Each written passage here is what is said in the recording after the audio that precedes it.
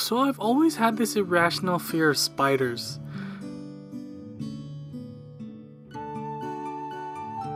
And you might think to yourself, oh, that's pretty common. But it's really kind of a love hate relationship.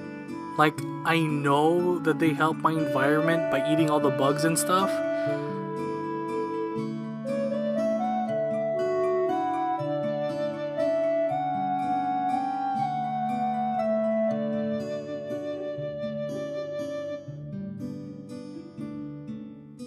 But for God's sakes, they look like this.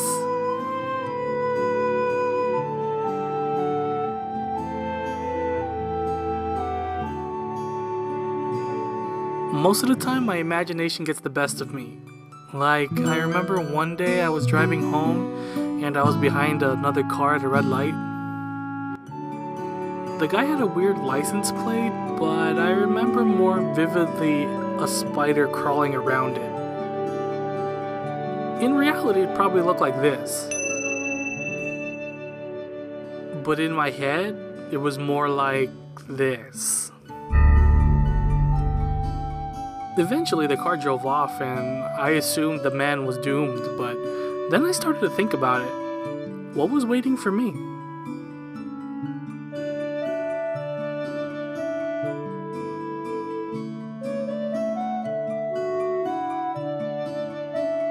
What are you afraid of? Tell us in the comments below. We'd love to hear about it. So I was driving to work one day and I saw this billboard that asked, What is your purpose?